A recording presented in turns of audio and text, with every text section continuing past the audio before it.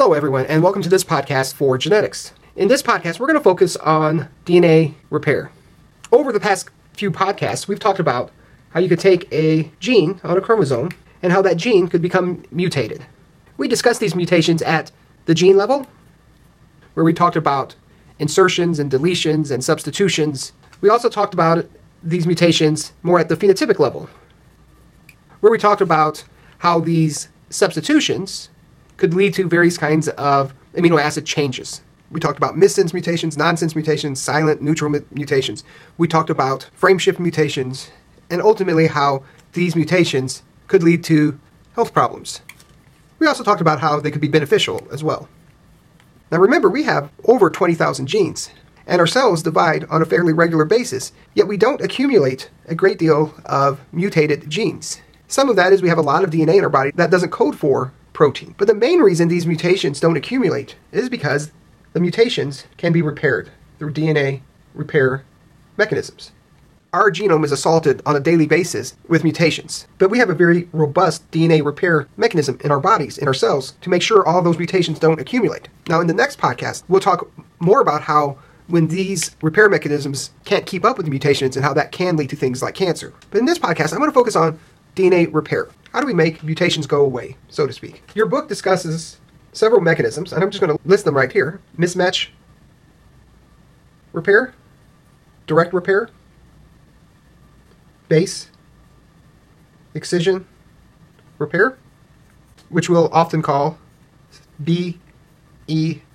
And then there is a mechanism called nucleotide excision repair and this is often abbreviated as NER. And then your book also discusses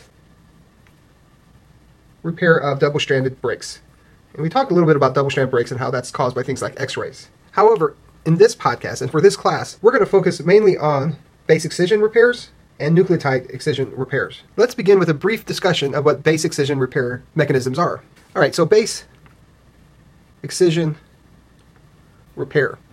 These mechanisms are found in both bacteria and animals. We're just going to talk about a, the basic setup of it, but recognize that the eukaryotic mechanisms are going to be a little bit more complex. But the nuts and bolts of it are pretty much the same. Let's begin with a strand of DNA. And in this strand of DNA, we have our nucleotides. I'm going to show the nucleotides here as a red circle. That's where the hydrogen bonds come in, remember, between the bases.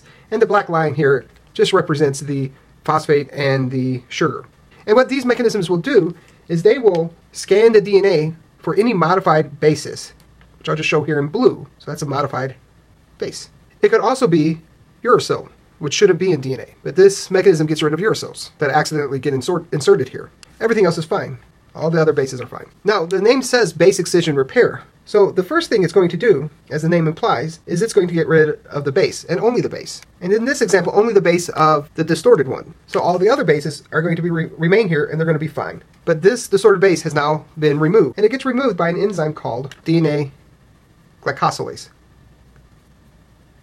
There are several kinds of DNA glycosylases that get rid of different kinds of modified bases, but for our purposes, let's just call it collectively a DNA glycosylase. And you see here in the picture, the sugar shown by the black line and the phosphate group shown by this the backbone here, it remains. So the next thing that has to happen is that sugar has to be removed and the phosphodiester backbone here has to be cut. And then when that happens, the final stage comes along here and the correct base is now added. So at the end here, this modified base has been removed and the correct one has been added. And so now this mutation has been repaired. And now, once it enters the cell cycle again, and through S phase, the correct base will be added during division. All right, next I want to talk about the second one you need to know about. And the second mechanism is called nucleotide excision repair, or NER. We talked briefly about how thymine dimers can form due to UV light hitting our skin. So let's talk, review that and then talk about how this repair mechanism is going to repair these thymine dimers. So remember, we're going to start off with our DNA. I'm going to draw a couple bases here, or a few anyhow, a G, a T, a T, and a C. So guanine, thymine, thymine, cytosine. And then we're going to draw the complementary bases here, C for cytosine, A for adenine, and G for guanine. So this is the way it should look. This is the way it normally looks, the wild type version. So let's just write wild type. We can even give it our good friends here, 5' and 3' polarities. And then what happens is that UV light, either from the sun or other sources, hit the cell containing this DNA. And what happens here is that these two thymines here, which don't interact with each other directly, will now interact with each other and form a bond, a covalent bond. So let's write our DNA here again. except one exception. These thymines are going to kind of extend up in such a way that they're still attached to the backbone here, but now they form a bond with each other or bonds with each other. That's why we call these thymine dimers, because there's two of them that are binding with each other. We still have our adenines here. They're not binding to the thymines anymore, but they're still there. There's a cytosine and our guanine, and our guanine and our cytosine here. The problem comes when we try to copy this cell, or rather we try to copy this DNA in the cell that's been attacked by UV light. I guess I should write UV here. This distortion of the DNA can cause problems in the replication of the cell and can lead to additional mutations forming. So it's important that we fix this mutation. And there are many proteins and many steps in this process, but the first thing that has to happen is there's going to be a set of enzymes that scan the DNA, looking for distortions. So large groups of enzymes here working together move along here, and when they come across these distortions, the enzyme stops and initiates the repair mechanism. So now other enzymes come along here and they're going to do something that we've seen before. It's going to take this region of DNA and it's going to open it up such that we do still have our T's here that are forming these thymine dimers. So we'll put our G's and our C's here.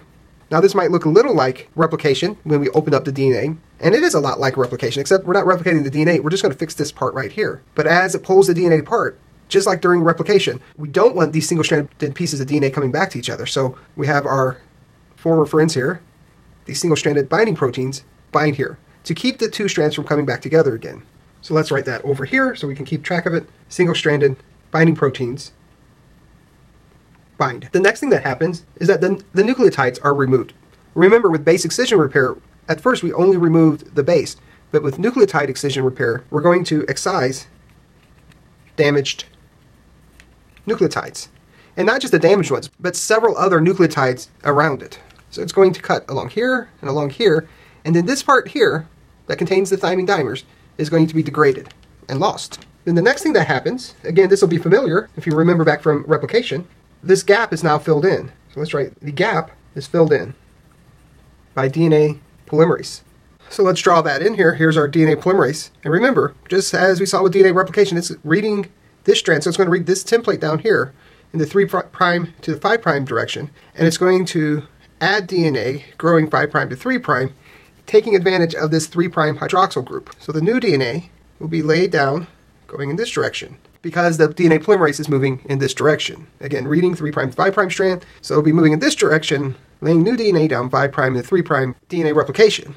This very last step here, this very last bond that has to be formed, can't be formed by DNA polymerase. It is formed by DNA ligase. So DNA ligase will come along here and it will seal that final bond. And to be complete, I should have indicated the correct base pairs here, G, T, T, and C. So you'll notice that the thymines are added here because they're still complementary to these adenines, but the thymine dimers, the, their ability to interact with each other, is no longer the case. So now the error has been fixed, and we will form the correct DNA with our correct bases of GTTC and CAAG on this new fully repaired strand of DNA. Now, before we end this podcast, I wanted to bring back a, a disease we had talked about previously, and I'm going to write the name right here. And remember this disease called xeroderma pigmentosum. Remember that this disease here is characterized by the individuals having large melanomas, that is, skin cancers. And that is because their skin is damaged by the UV radiation and they're unable to go through this process. And the main reason they can't go through this process is because it's blocked. And it's blocked because of the DNA polymerase ETA. This DNA polymerase ETA is the DNA polymerase that repairs this gap after it's been excised. So if this is deleted, or mutated that is, this DNA polymerase ETA, these individuals are no longer able to repair UV damaged these thymine dimers pers- persist, and as long as they persist in the individual, when the DNA is copied during the cell cycle, mutations will be passed on to the next generation. And typically, what happens is that this kind of a mutation in our genome will lead to frame shifts. So they can be rather devastating to the individual. Okay, that is all I have for this podcast. If you have any questions at all, please make sure you come see me. If not, I'll see you in class. Bye.